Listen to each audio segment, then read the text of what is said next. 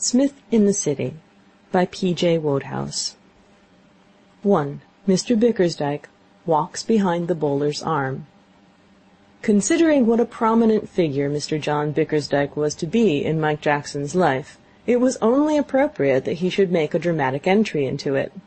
This he did by walking behind the bowler's arm when Mike had scored ninety eight, causing him thereby to be clean bowled by a long hop.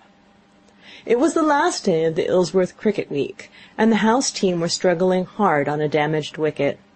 During the first two matches of the week all had been well. Warm sunshine, true wickets, tea in the shade of the trees. But on the Thursday night, as the team champed their dinner contentedly after defeating the Incogniti by two wickets, a pattering of rain made itself heard upon the windows. By bedtime it had settled into a steady downpour. On Friday morning, when the team of the local regiment arrived in their brake, the sun was shining once more in a watery, melancholy way, but play was not possible before lunch. After lunch the bowlers were in their element. The regiment, winning the toss, put together a hundred and thirty, principally due to a last wicket stand between two enormous corporals, who swiped at everything, and had luck enough for two whole teams. The house team followed with seventy eight, of which Psmith, by his usual golf methods, claimed thirty. Mike, who had gone in first as the star bat of the side, had been run out with great promptitude off the first ball of the innings, which his partner had hit in the immediate neighbourhood of point. At close of play the regiment had made five without loss. This on the Saturday morning, helped by another shower of rain which made the wicket easier for the moment, they had increased to a hundred and forty eight leaving the house just two hundred to make on a pitch which looked as if it were made of linseed. It was during this week that Mike had first made the acquaintance of Psmith's family. Mr Smith had moved from Shropshire, and taken Ilsworth Hall in a neighbouring county. This he had done, as far as could be ascertained, simply because he had a poor opinion of Shropshire cricket. And just at that moment cricket happened to be the pivot of his life. My father, Psmith had confided to Mike, meeting him at the station in the family motor on the Monday, is a man of vast but volatile brain. He has not that calm, dispassionate outlook on life which marks a true philosopher such as myself. I I say, interrupted Mike, eyeing Psmith's movements with apprehension, you aren't going to drive, are you? Hmm, who else? As I was saying, I'm like some contented spectator of a pageant. My pater wants to jump in and stage manage. He is a man of hobbies. He never has more than one at a time, and never has that long. But while he has it, it's all there. When I left the house this morning he was all for cricket, but by the time we get to the ground he may have chucked cricket and taken up the Territorial Army. Don't be surprised if you find the wicket being dug up into trenches when we arrive, and the pro moving in echelon towards the pavilion. No, he added, as the car turned into the drive, and they caught a glimpse of white flannels and blazers in the distance, and heard the sound of bat meeting ball. Cricket seems still to be topping the bill. Come along, and I'll show you your room. It's next to mine, so that if, brooding on life in the still hours of the night, I hit on any great truth, I shall pop in and discuss it with you. While Mike was changing, Psmith sat on his bed and continued to discourse. I suppose you're going to the 'Varsity? he said. Rather, said Mike, lacing his boots. You are, of course. Cambridge, I hope. I'm going to King's. Between ourselves, confided Psmith, I'm dashed if I know what's going to happen to me. I'm the thingummy of what's its name. you look it, said Mike, brushing his hair. Don't stand there cracking the glass, said Psmith. I tell you, I'm practically a human three shies a penny ball. My father's poising me lightly in his hand, preparatory to flinging me at one of the milky cocoas of life. Which one he'll aim at, I don't know. The least thing fills him with a whirl of new views as to my future. Last week we were out shooting together, and he said that the life of the gentleman farmer was the most manly and independent on earth, and that he had a good mind to start me on that. I pointed out that the lack of early training had rendered me unable to distinguish between a threshing machine and a mangel wurzel, So he chucked that. He has now worked round to commerce. It seems that a blighter of the name of Bickersdyke is coming here for the week end next Saturday. As far as I can say without searching the Newgate Calendar, the man Bickersdyke's career seems to have been as follows. He was at school with my pater, went into the City, raked in a certain amount of doubloons, probably dishonestly, and is now a sort of captain of industry, manager of some bank or other, and about to stand for Parliament. The result of these excesses is that my pater's imagination has been fired, and at the time of going to press he wants me to imitate Comrade Bickersdyke. However, there's plenty of time, that's one comfort. He is certain to change his mind again. Ready? Then suppose we filter forth into the arena. Out on the field, Mike was introduced to the man of hobbies. Mr Smith, senior, was a long, earnest looking man, who might have been Psmith in a grey wig but for his obvious energy. He was as wholly on the move as Psmith was wholly statuesque. Where Psmith stood like some dignified piece of sculpture, musing on deep questions with a glassy eye, his father would be trying to be in four places at once. When Psmith presented Mike to him, he shook hands warmly with him and started a sentence, but broke off in the middle of both performances to dash wildly in the direction of the pavilion in an endeavour to catch an impossible catch some thirty yards away. The impetus so gained carried him on towards Bagley, the Ilsworth Hall groundsman, with whom, a moment later, he was carrying on an animated discussion as to whether he had or had not seen a dandelion in the field that morning. Two minutes afterwards he had skimmed away again. Mike, as he watched him, began to appreciate Psmith's reasons for feeling some doubts as to what would be his future walk in life. At lunch that day Mike sat next to Mr Smith and improved his acquaintance with him, and by the end of the week they were on excellent terms. Psmith's father had Psmith's gift of getting on well with people. On this Saturday, as Mike buckled on his pads, Mr Smith bounded up, full of advice and encouragement. "My boy," he said, "we rely on you. These others," he indicated with a disparaging wave of the hand the rest of the team, who were visible through the windows of the changing room, "are all very well. Decent club bats. Good for a few on a billiard table. But but you're our hope on a wicket like this. I've studied cricket all my life till that summer. It is impossible that Mr Smith had ever handled a bat. And I know a first class batsman when I see one. I've seen your brothers play. Oh, you're better than any of them. That century of yours against the Green Jackets was a wonderful innings. Wonderful. Now, look here, my boy. I want you to be careful. We've got a lot of runs to make, so we mustn't take any risks. Hit plenty of boundaries, of course, but be careful. Careful. Oh, dash it! There's a youngster trying to climb up the elm. He'll break his neck. Oh, it's young Giles, my keeper's boy. Hi, hi there! He scudded out to avert the tragedy, leaving Mike to digest his expert advice on the art of batting on bad wickets.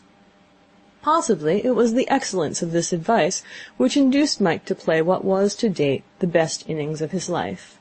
There are moments when the batsman feels an almost superhuman fitness. This came to Mike now. The sun had begun to shine strongly. It made the wicket more difficult, but it added a cheerful touch to the scene. Mike felt calm and masterful. The bowling had no terrors for him. He scored nine off his first over and seven off his second, halfway through which he lost his partner. He was to undergo a similar bereavement several times that afternoon, and at frequent intervals. However simple the bowling might seem to him, it had enough sting in it to worry the rest of the team considerably. Batsmen came and went at the other end with such rapidity it seemed hardly worth while their troubling to come in at all. Every now and then one would give promise of better things by lifting the slow bowler into the pavilion or over the boundary, but it always happened that a similar stroke, a few balls later, ended in an easy catch. At five o'clock the Ilsworth score was eighty one for seven wickets, last man not, Mike not out fifty nine. As most of the house team, including Mike, were dispersing to their homes or were due for visits at other houses that night, stumps were to be drawn at six. It was obvious that they could not hope to win. Number nine on the list, who was Bagley, the groundman, went in with instructions to play for a draw, and minute advice from Mr Smith as to how he was to do it. Mike had now begun to score rapidly, and it was not to be expected that he would change his game; but Bagley, a dried up little man of the type which bowls for five hours on a hot August day without exhibiting any symptoms of fatigue, put a much bound bat stolidly in front of every ball he received, and the Hall's prospects of saving the game grew brighter. At a quarter to six the professional left, caught at the very silly point for eight. The score was a 115, of which Mike had made 85. A lengthy young man with yellow hair, who had done some good fast bowling for the Hall during the week, was the next man in. In previous matches he had hit furiously at everything, and against the Green Jackets had knocked up forty in twenty minutes while Mike was putting the finishing touches to his century. Now, however, with his host's warning ringing in his ears, he adopted the unspectacular or Bagley style of play. His manner of dealing with the ball was that of one playing croquet.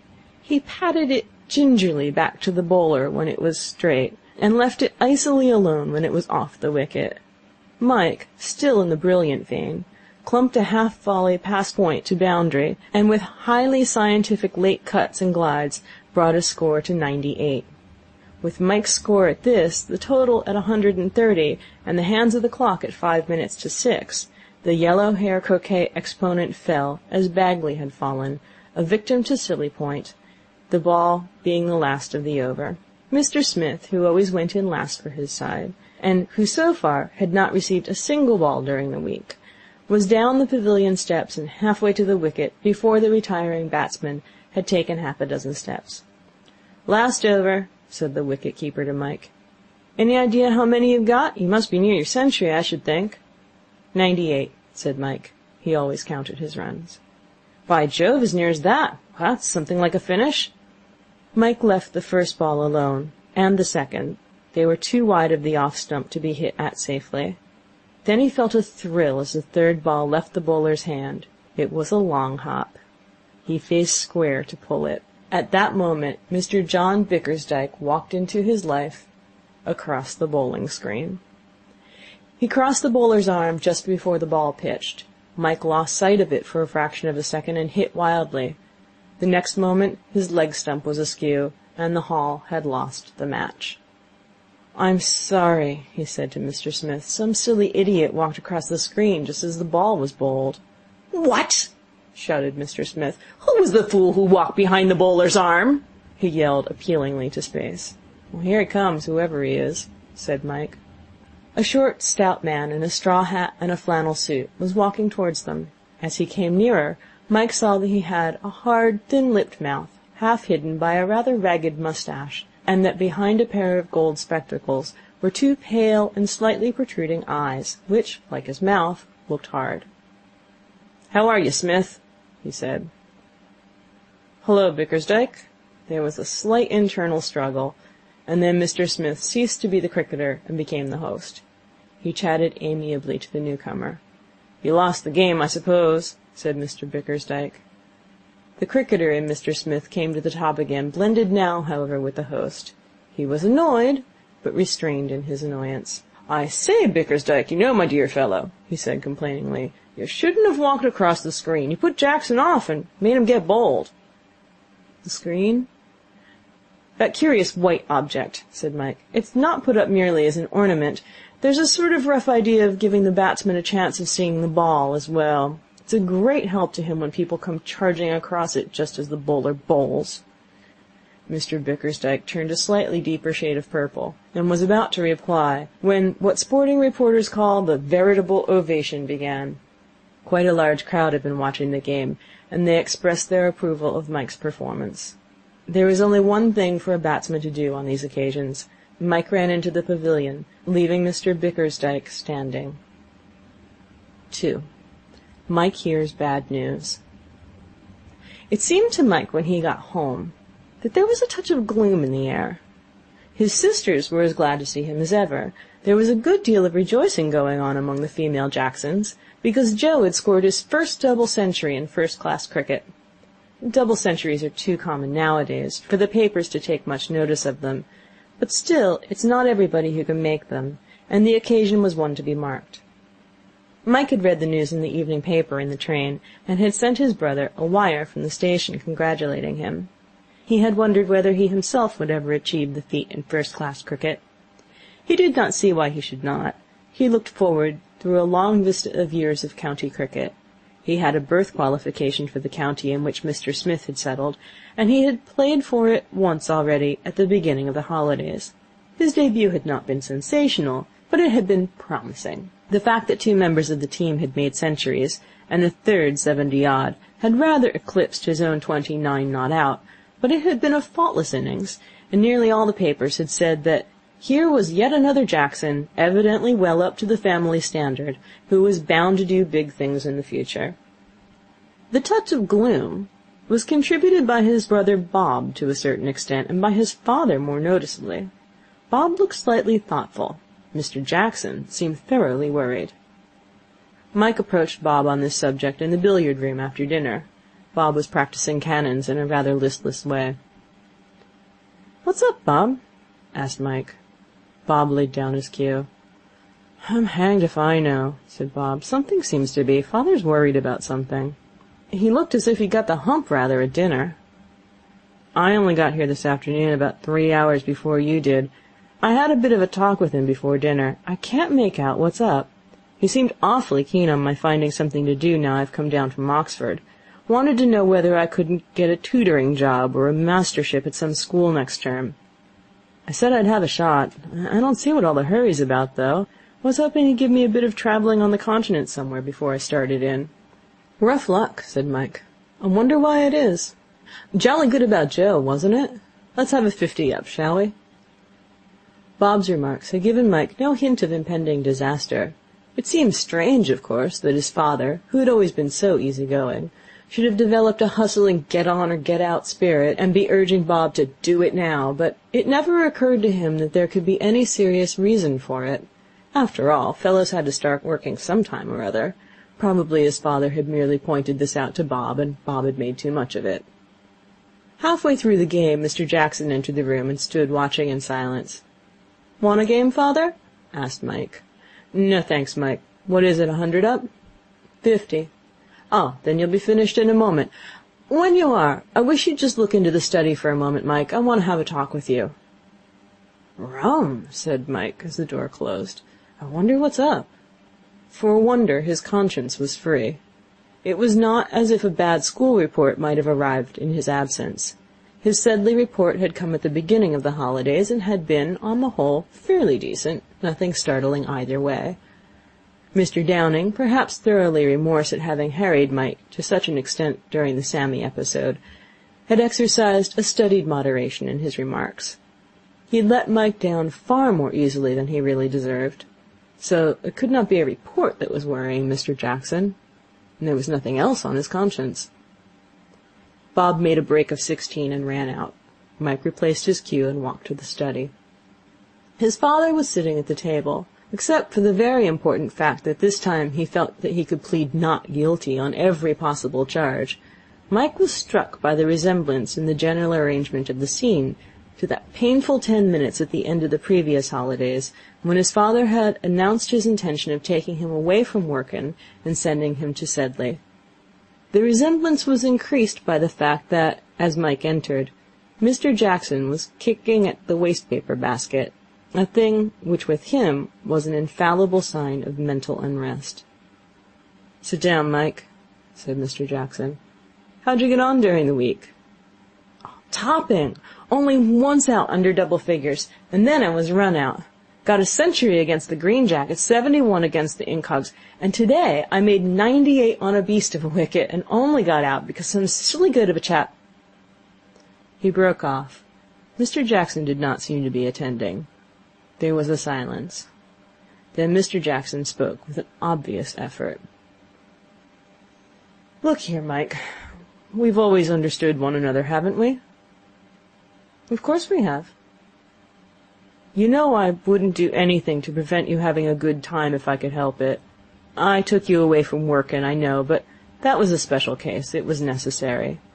But I understand perfectly how keen you are to go to Cambridge, I wouldn't stand in the way of that for a minute if I could help it.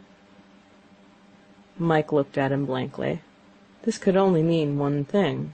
He was not going to go to the 'Varsity. But why? What had happened?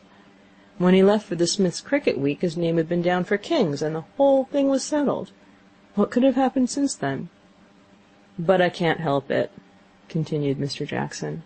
"Aren't I going up to Cambridge, father?' stammered Mike. 'I'm afraid not, Mike. I'd manage it if I possibly could. I'm just as anxious to see you get your Blue as you are to get it. But it's kinder to be quite frank. I can't afford to send you to Cambridge. I won't go into details which you wouldn't understand, but I've lost a very large sum of money since I saw you last. So large that we shall have to economize in every way. I shall let this house and take a much smaller one, and you and Bob, I'm afraid, will have to start earning your living. I know it's a terrible disappointment to you, old chap. Oh, Th that's all right,' said Mike thickly. There seemed to be something sticking in his throat, preventing him from speaking. "If there was any possible way No, no, it's all right, father, really. I don't mind a bit. It's awful rough luck on you, losing all that.' There was another silence. The clock ticked away energetically on the mantelpiece, as if glad to make itself heard at last. Outside, a plaintive snuffle made itself heard. John the bulldog, Mike's inseparable companion, who had followed him to the study, was getting tired of waiting on the mat. Mike got up and opened the door. John lumbered in. The movement broke the tension. "Thanks, Mike," said Mr Jackson, as Mike started to leave the room. "You're a sportsman." 3. The New Era Begins Details of what were in store for him were given to Mike the next morning. During his absence at Ilsworth, a vacancy had been got for him in that flourishing institution, the New Asiatic Bank, and he was to enter upon his duties, whatever they might be, on the Tuesday of the following week. It was short notice, but banks had the habit of swallowing their victims rather abruptly. Mike remembered the case of Wyatt, who had just about the same amount of time in which to get used to the prospect of commerce. On the Monday morning a letter arrived from Psmith. Psmith was still perturbed. Commerce, he wrote, continues to boom. My pater referred to Comrade Bickersdyke last night as a merchant prince. Comrade B and I do not get on well together. Purely for his own good, I drew him aside yesterday and explained to him at great length the frightfulness of walking across the bowling screen. He seemed restive, but I was firm. We parted rather with the distant stare than the friendly smile. But I shall persevere. In many ways the casual observer would say that he was hopeless. He is a poor performer at bridge, as I was compelled to hint to him on Saturday night. His eyes have no animated sparkle of intelligence, and the cut of his clothes jars my sensitive soul to its foundations. I don't wish to speak ill of a man behind his back, but I must confide in you, as my boyhood friend, that he wore a made-up tie at dinner. Ah, but no more of a painful subject. I'm working away at him with a brave smile. Sometimes I think that I'm succeeding. Then he seems to slip back again. However, concluded the letter, ending on an optimistic note, I think I shall make a man of him yet, some day. Mike reread this letter in the train that took him to London. By this time Psmith would know that he was not the only case in which commerce was booming. Mike had written to him by return, telling him of the disaster which had befallen the house of Jackson. Mike wished he could have told him in person, for Psmith had a way of treating unpleasant situations as if he were merely playing at them for his own amusement. Psmith's attitude towards the slings and arrows of outrageous fortune was to regard them with a bland smile, as if they were part of an entertainment got up for his express benefit. Arriving at Paddington, Mike stood on the platform, waiting for his box to emerge from the luggage van, with mixed feelings of gloom and excitement. The gloom was in larger quantities, perhaps, but the excitement was there too.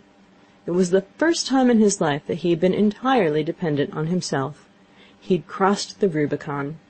The occasion was too serious for him to feel the same helplessly furious feeling with which he had embarked on life at Sedleigh. It was possible to look on Sedleigh with quite a personal enmity. London was too big to be angry with.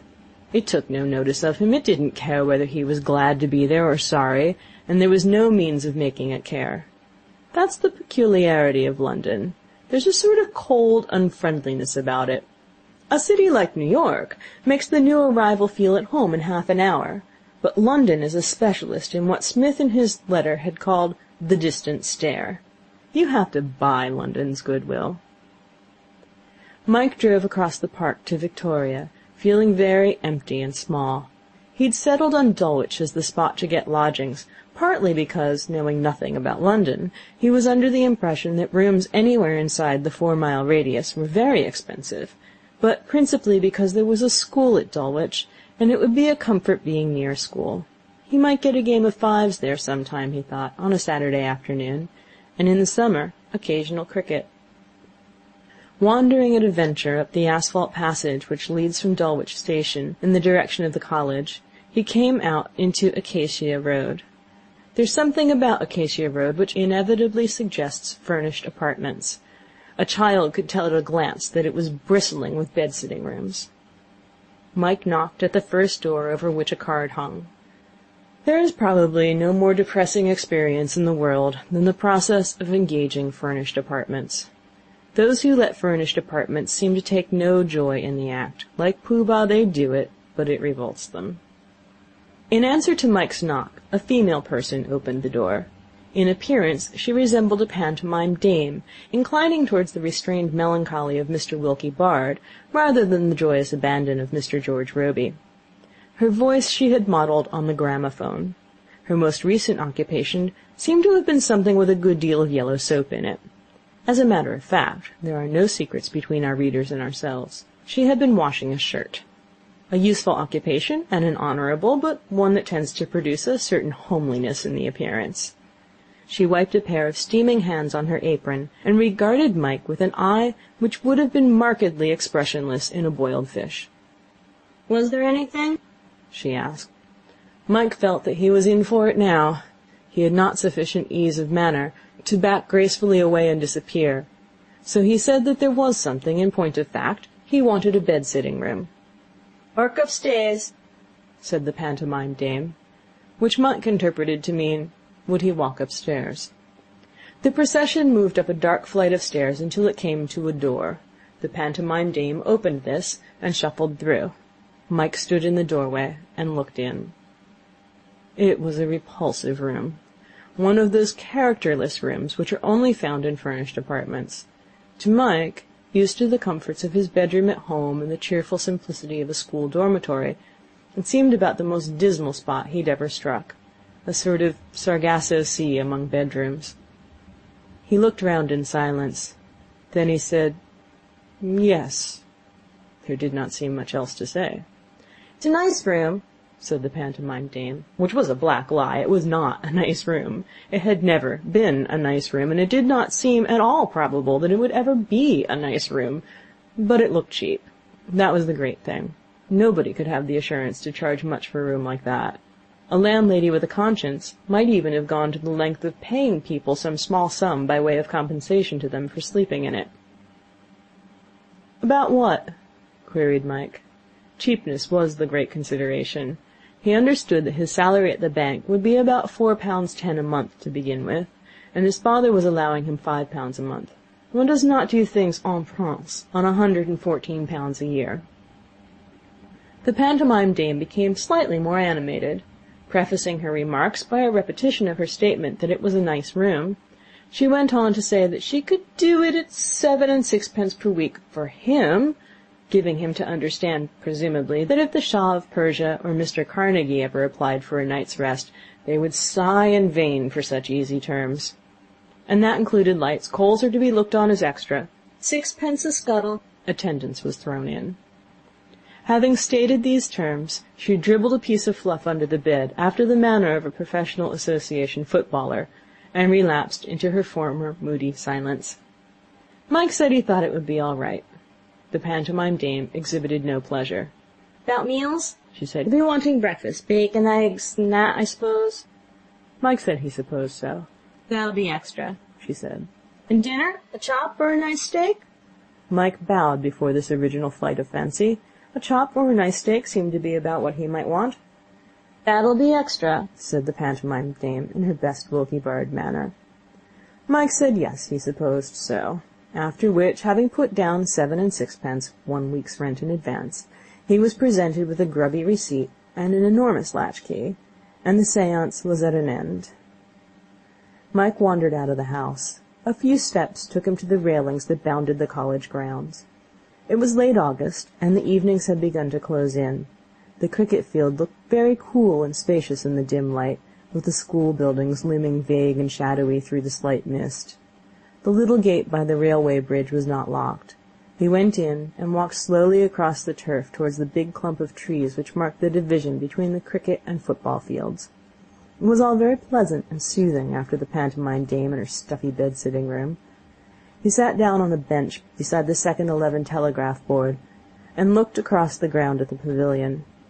For the first time that day he began to feel really homesick. Up till now the excitement of a strange venture had borne him up, but the cricket field and the pavilion reminded him so sharply of Wrykyn. They brought home to him a cutting distinctness, the absolute finality of his break with the old order of things. Summers would come and go, Matches would be played on this ground with all the glory of big scores and keen finishes. But he was done. It was a jolly good bat at school. Top of the Wrykyn averages two years. But didn't do anything after he left. Went into the city or something. That's what they would say of him, if they didn't quite forget him. The clock on the tower over the senior block chimed quarter after quarter, but Mike sat on, thinking. It was quite late when he got up and began to walk back to Acacia Road. He felt cold and stiff and very miserable. That is the end of chapters one through three.